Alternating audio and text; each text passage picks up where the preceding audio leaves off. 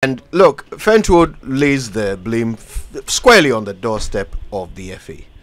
But look, I want I, I, I want to know whether you think it goes beyond them. I mean, do we do we have a certain decline in the quality of footballers so that no matter what the FA decides, the quality that we will end up presenting in any given game is just less than what we used to have? Kojo, it's impossible to excuse the FA or the leadership of the FA in all of this. Because, for example, if you have a kid in class six and you are looking to improve the kid or you are looking for a teacher who is able to help the kid, I do not think for the life of me that you'll be looking at uh, a teacher who is in maybe class one or grade one, who is inexperienced. That's not what you do.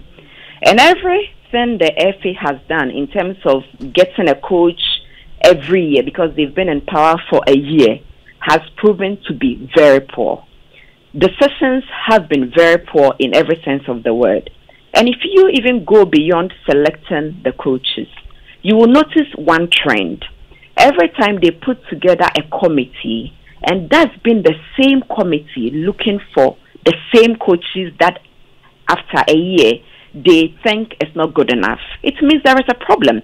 It's either the people looking for the coaches do not have the technical know how, they do not understand what they are looking for, or they just simply don't get the job. Because I do not see how you make a mistake one, twice, repeat it five times, and there is no problem with, with how you are seeing through or how you question things or exactly what you are looking for. So you cannot excuse the FA in all of this.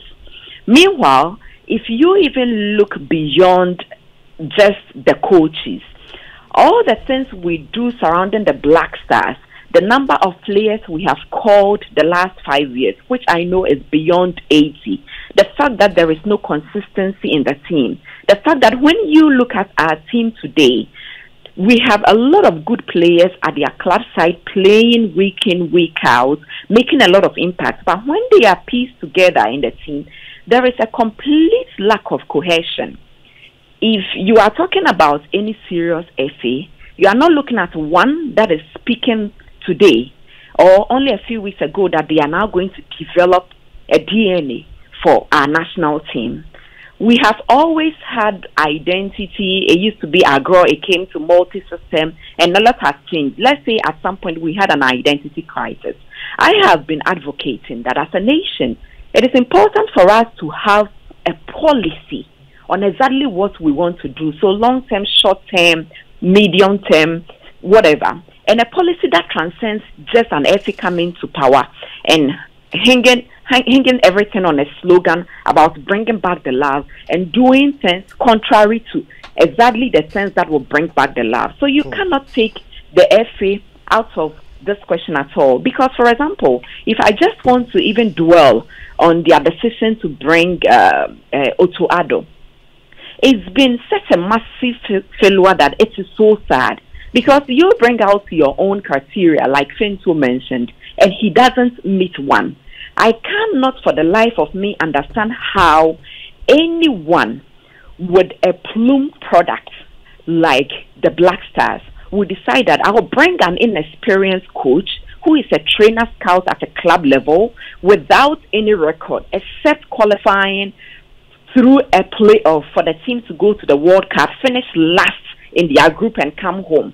And bring someone like that to salvage a situation or a sinking boat that has been coming since 2000, 2019 and then decide to give the person two inexperienced assistant coaches.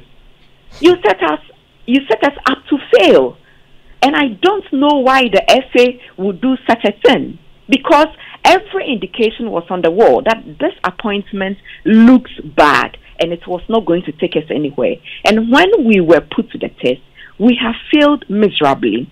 Mama V was asking whether the KPIs of Otto includes qualifying us for the Nations Cup. I think it is so basic that if the FA did not include it in his contract, everybody should be calling for the heads of the FA. But I am I'm, I'm sorry. In this country, we have been calling for this for so long, and it looks like leadership. I'm talking about the presidency. Do not care at all. Otherwise, we won't have the FA and the ministry with their various heads operating like they do or they have been doing the last few years. Mm.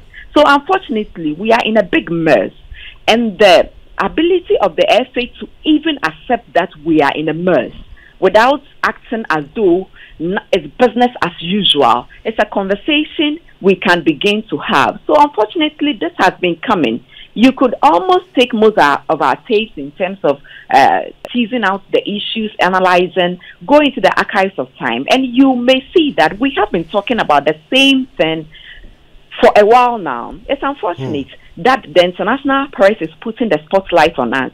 But if that is what it takes for the FA to set up, for government of Ghana to see the embarrassment beyond not just having a pitch to play on that the president has to intervene, then maybe so might it be. Hmm.